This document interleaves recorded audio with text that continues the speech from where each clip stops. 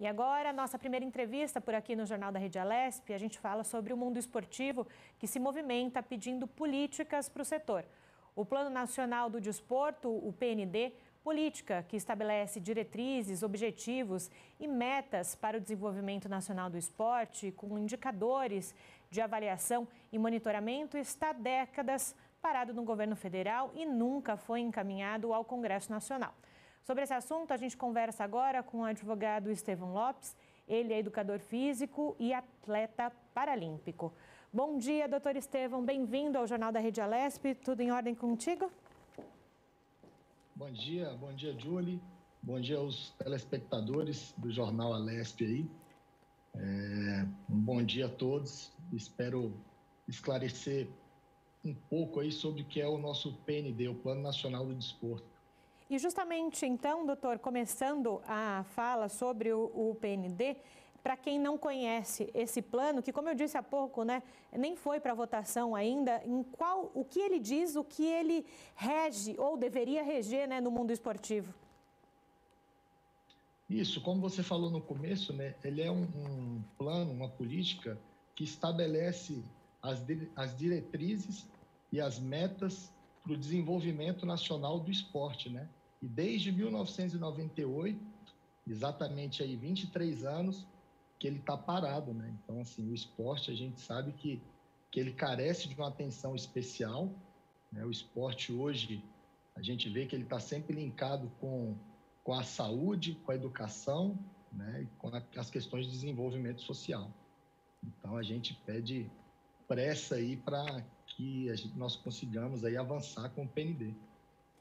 Justamente, o que acontece, é, doutor, que justamente que não avança? Né? Há quanto tempo isso está parado lá no, no governo federal e o que, que eles alegam? Por que isso não, é, não foi já implementado aqui é, para ajudar não só os atletas paralímpicos, né? mas, enfim, toda essa questão esportiva aqui no Brasil?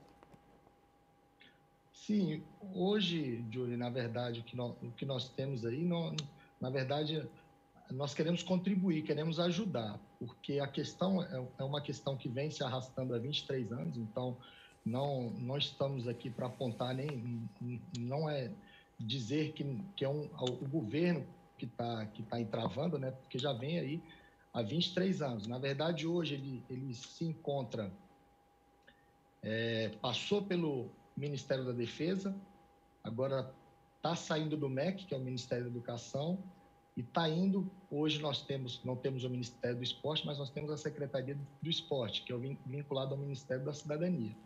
E indo para o Ministério da Cidadania, ele passa para a ascensão do plenário, para ir para a votação, e aí a, o que a gente espera é que isso aconteça né, o mais rápido possível e aguardando muito essa aprovação. Então, são, são questões políticas que nós vemos aí, né? Na verdade, o, que, o, que o, o entrave aí, na verdade, ele é político.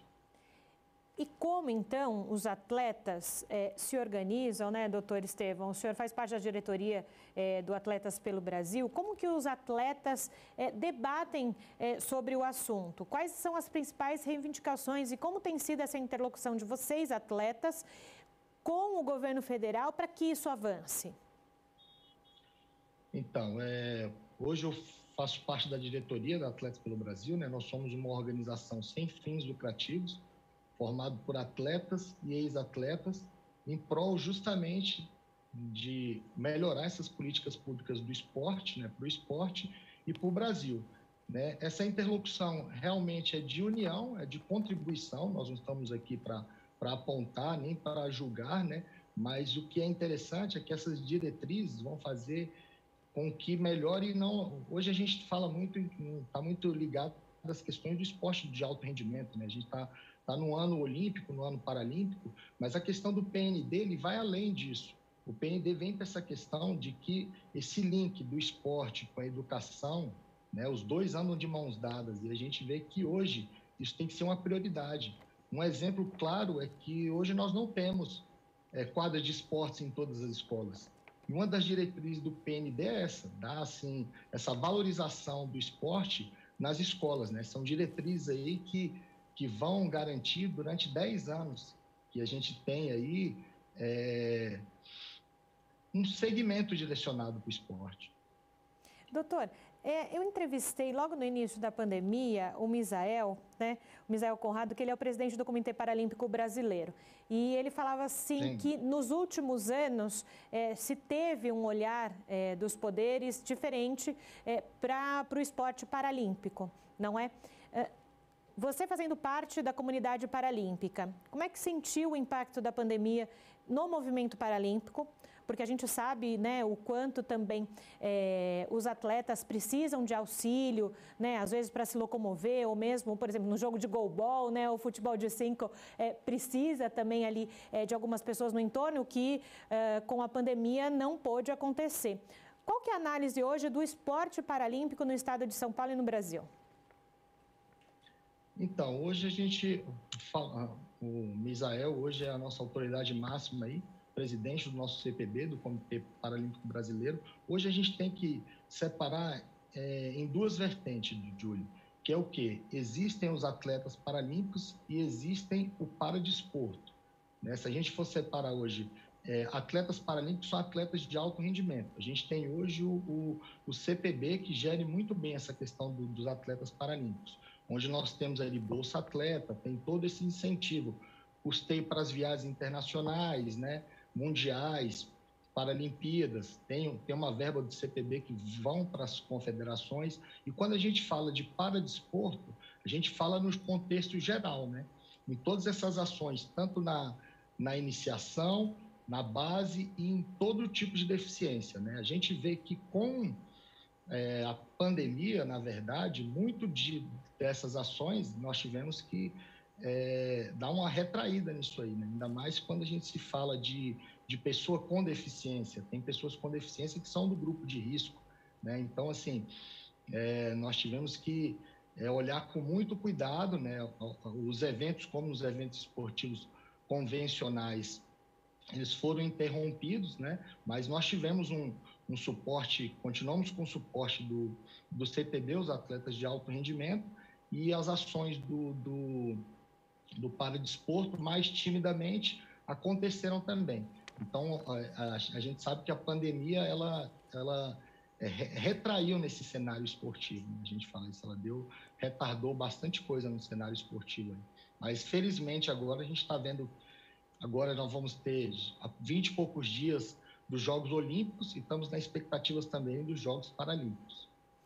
Antes da, da, gente falar um pouquinho sobre a questão dos Jogos Paralímpicos lá em Tóquio, voltando um pouquinho sobre essa questão do paradesporto, é, que o senhor fez é, uma ótima análise de diferenciar né, no caso do paradesporto de alto rendimento, né, quem vai para a Olimpíada, quem está ali é, no topo né, é, das questões. E também o paradesporto significa dar possibilidade às crianças com algum tipo de, de deficiência de poder, através do esporte, ter essa questão social é, que o esporte por si só traz, né? A gente tem uma, uma notícia aqui de que o esporte paralímpico volta, por exemplo, aos Jogos Universitários Brasileiros em 2021, algo que não acontecia por algumas questões orçamentárias. Você recolocar, por exemplo, o paradesporto em Jogos Universitários ou outros é, movimentos é, do esporte também ajuda nesse movimento do paradesporto no país?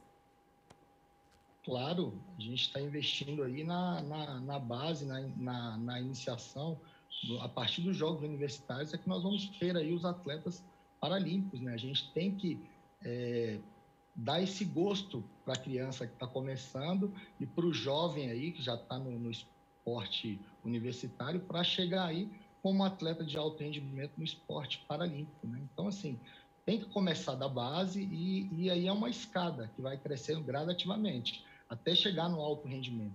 Ninguém chega no, logo no alto rendimento de uma vez, ele passa por esses processos todos, né? Então, que ótima notícia, a gente está voltando aí, e se eu não me engano, vai acontecer em Brasília, os Jogos Universitários, em, em 2021, é, então, e já, e, e, já é um fato, né? Então, um ponto positivo aí para o governo agora, tá, tá investindo na base, dando esse, dando esse segmento, até nós chegarmos aí nas nas potências hoje, que hoje nós sabemos que o Brasil é um celeiro de atletas de alto rendimento, né? no, principalmente nos atletas paralímpicos. Hoje nós, batemos de frente com as maiores potências. Estamos sempre encabeçando aí o, o número de, no quadro de medalhas aí, é, disputando com o mundo todo aí, com os melhores países do mundo todo.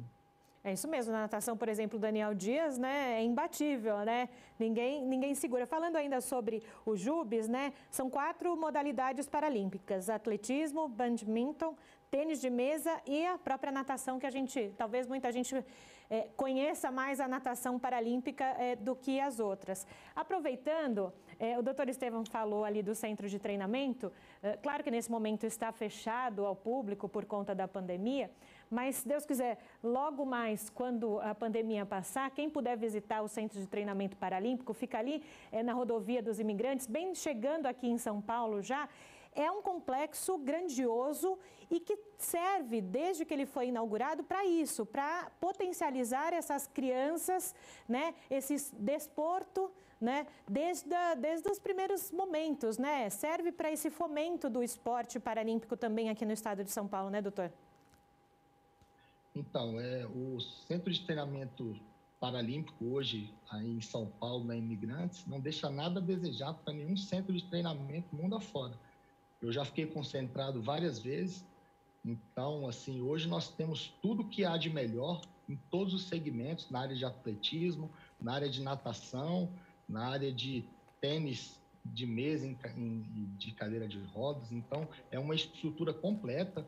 A nível de hospedagem, a gente fica hospedagem, hospedado é, com uma estrutura super confortável, com alimentação. Então, a gente vê que esse investimento feito da forma correta, né, a gente consegue garantir o, o, o, os resultados para os nossos atletas aí, né? E ele abrange todas as modalidades, isso que é, que é mais importante. Totalmente inclusivo, né? Todo adaptado, com todos os critérios de adaptações exigidos aí mundo afora, assim, é um orgulho ter um centro de treinamento aí no, no nosso país, né, no, em São Paulo, que ele se replique aí Brasil afora, né, em todas as capitais aí nós possamos ter um, um centro de, de treinamento paralímpico do, do nível desse da Imigrantes aí em São Paulo. É isso mesmo. E eu compartilho da, da sua fala, porque eu acompanhei alguns anos goalball e futebol de cinco, justamente até em competições ali dentro do centro de treinamento. Eu até brincava, né, que o pessoal do futebol de cinco faz mais gol do que os jogadores ali dentro de campo, às vezes, né? É verdade, a galera ali não deixa nada a desejar de Romário, Ronaldinho. Nós temos os, os nossos ídolos aí estão sempre na ponta também, é, é, são campeões, né, medalha, títulos aí que, que quem acompanha sabe que são craques, né? E, e putz, com, com, todas as dificuldades, né? Fazem tantos gols quanto o nosso futebol convencional. Muito é. bacana. É isso mesmo. E é importante essa nossa fala, dizendo é, do quanto também os atletas paralímpicos têm o seu destaque, é, os atletas paralímpicos brasileiros têm esse destaque no mundo esportivo, porque a gente puxa novamente para falar é, do nossa, da nossa entrevista do Plano Nacional do Desporto, que também é essencial para esses momentos, né? Para que o esporte paralímpico no Brasil continue tendo as suas referências, para aquelas crianças e adolescentes que olhem para esses atletas e falem, poxa, é, eles conseguiram chegar nesse momento, numa Olimpíada, por exemplo, eu também posso. É, Júlio, o PND hoje é importante porque ele vai gerir, ele vai é, é, direcionar, na verdade, essas, essas diretrizes aí. Durante 10 anos, nós vamos saber o que, que vai estar acontecendo, literalmente, qual o rumo que está tomando aí o nosso esporte, né? Então, ele vem para somar bastante. Aí a gente tem aí hoje a Lei Pelé, né, que é a lei geral do esporte no país, mas está faltando esse é, é, o PND junto, a gente sabe que, no, que, nós vamos alcançar aí essas, essas metas maiores, nós vamos ter é, é como cobrar mais o que está acontecendo com o esporte. Né? A gente sabe que hoje nós não temos um Ministério dos Esportes, a gente tem uma Secretaria de Esportes, né? então é, é outro ponto que a gente tem que destacar, né? e o esporte ele precisa ser mais valorizado. Nós sabemos, como eu falei aí anteriormente, esporte, educação, eles andam de, mão, de mãos dadas. A gente não vê um sem o outro, né? Isso aí, é, nos países mais desenvolvidos, mundo afora, os resultados são comprovados que quando você valoriza o esporte, né, a educação junto aí, é, o, o, a gente consegue trabalhar essa formação do cidadão completa, né? Então vamos aí, a gente tem a, a nossa hashtag aí Avança PND, nós estamos torcendo aí que, o, que esse governo agora né, é, vai poder dar esse pontapé inicial e ficar aí com, com, com os louros, né, colher os louros aí da, da implantação do PND.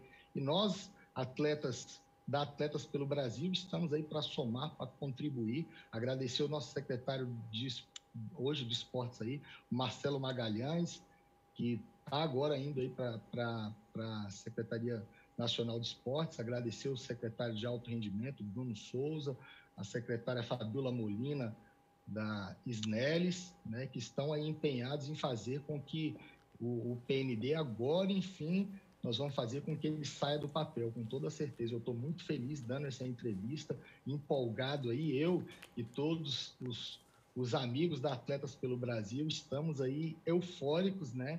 Assim, fazendo força para que avance o PND, Júlio. É isso mesmo, doutor. Muito obrigada, viu, pela sua entrevista aqui ao Jornal da Rede Alesp. Prazer falar contigo. O prazer foi todo meu. E agradecer aí os, os telespectadores e vocês aí por ter aberto o espaço para nós, da Atletas pelo Brasil.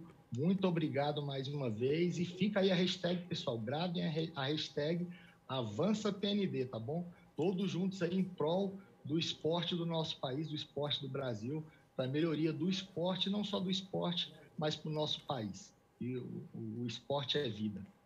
É isso mesmo. Muito obrigada, viu?